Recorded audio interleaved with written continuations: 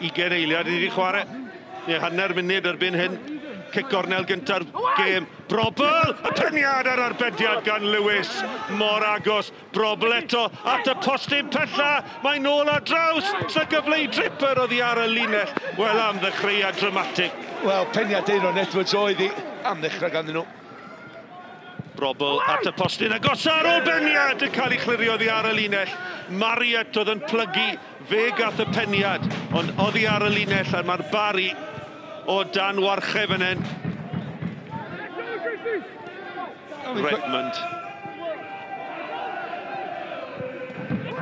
Brobl, peniad lawr, tripa! O, oh, gwych! y seintiau newydd, y croesiad i mewn a dyniad deallus Eiron Edwards lawr, ac yna dripper ar ei drod dde, yn Ciro Lewis, gol hyfryd, dechreuad perffaith i'r ddarpar pencampwyr y seintiau newydd. Ma, mae wedi bod yn dod at am bel yma'n hyn i ddechrau y peniad na nôl. Ti'n gwybod, mae'r peniad yn ôl gan Aaron Edwards i lwybr Greg Draper sydd ddim yn goro undo trof i lawr i'r ediad. Mae hwnna yn foli o'r safon ycha. Chydig dros 10 munud i fynd tan yr hanner. Y wal yn dalan dyn. Brobl dros y wal! O, Taro bar yn taro Lewis ac yna allan gan Chris Hugh. Ti'n gwybod, y ffordd oedd o'n siapio i gorff. Sa chdi di deud e, bod o byth yn mynd am y gornel yna. O mynd i twyllo'r golwr. Di Mike ddim yn cael cyffyniad ar ei ddechrau. Mae'n siarad o'r ei ben. 20 munud yn weddill, te. 20 munud rhwng y seintiau newydd a'i wythfed pencampwriaeth o'r bron. Eiron Edwards a Cain Lewis. Fachgen cryf. A Mullen Rediad i allus gan Eiron Edwards tu allan iddo fe. Mylan yn mynd i hunan mewn y cwrt Cosby. Mylan! A dyna ni! Y gol sy'n sicrhau y bencampwriaeth! Torieth i'r seintiau newydd a drychwch ar y dathliadau. Mae ti'n mynd newid ger yma na, de, mor slei, mor distawd, i'n ffynwr, i'n gwybod be'n neud. Mae ti'n mynd heipio fo i bod, a wedyn i chwipio ar ei drawsio yn isal a'i gwylod yr hwyd. Gret o gol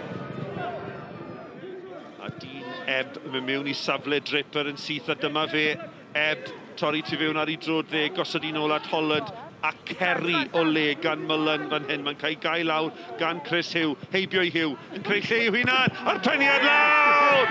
A drydedd i Eiron Edwards! Hyfryd gan y seintiau, Mylan yn creu eto, peniad lawr gan Eiron Edwards i goroni'r cyfan. Mullen eto. Yli, just taflu'n ysgwydd i'r ffordd, symud y bel i gyfeiriad arall. Dim yn gynocyn oedd un, hanner llathan, croesi'r postyn bella, a Eiron yn penio ei lawr, Mae mae bob cwrir yn gorfod wneud. Routledge, allan at Chislevich, mae hwn yn gyfle ymheibio i ddyn. Croesiad eisiau ebyn i methu hi, mae'n cyrraedd Mullen, nôl at Routledge! A Routledge sy'n coroni'r noson i'r seintiau newydd i ail gol o'r tymor. Fe ddechreuodd y symudiad, fe sy'n ei gorffen hi. Barry Dem, y seintiau newydd peder. Assists arall i Bowen. Mae'n sy'n glefar dyma ni'n just codi ben. A jyst y pwysau perffaith yn ôl at Routledge. So, felly, fydd o, mynd i cymryd ti ar y cyffyrddiau cyntaf ac yn pasio i mewn i rwyd.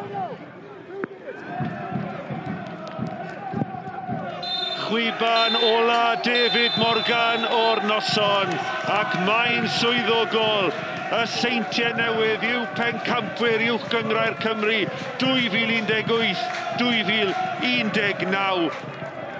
Drychwch ar y gwynebau hapus yna.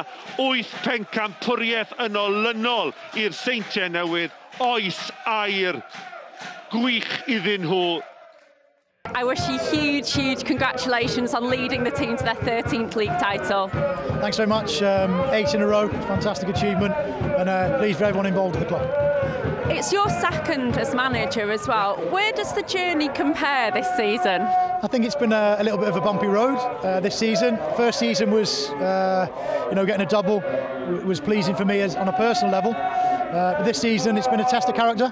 Not just for the staff, but the players as well, and everyone associated with the club. But I always knew that we'd be here at the end. Uh, I think I've gone on record as saying it uh, in front of the cameras, um, and it's just just pleased for the players and the staff and, and everyone involved with the football club. I'm just, I am over the moon. I'm pleased for the lads. Um, they took a bit of a battering um, through November um, from ourselves and from everybody else outside.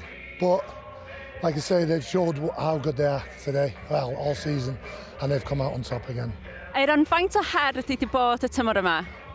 Do, dwi'n wedi bod fyny a lawr, ond um, ti'n bod uh, probably, uh, chwech wythnos diwetha, ti'n bod, da ni dangos beth da ni'n gallu gwneud, a ti'n bod, um, da ni dod allan ar top eto, a ti'n bod, uh, neis i cael yn nawfed um, gyngrair. We got um, two more league games to go and then um, the cup final at Kevin Druids on the 5th and we're looking forward to it. Like I say, we're hitting form at the right time. We've last probably three or four games we played some of the best, well, if not the best football I've seen us play as a team. And that's credit to these lads day in, day out, working their backsides off. Um, every day and it, like I say it's credit to these lads and they deserve everything they get. First of all congratulations CNS. Uh, at the end of the season the best team that's up on top deserves to win the league so fantastic achievement. First 15 minutes I thought they started like a train and we done well to hang on in there. Uh, I thought some of that football was exquisite at times, um, give them credit.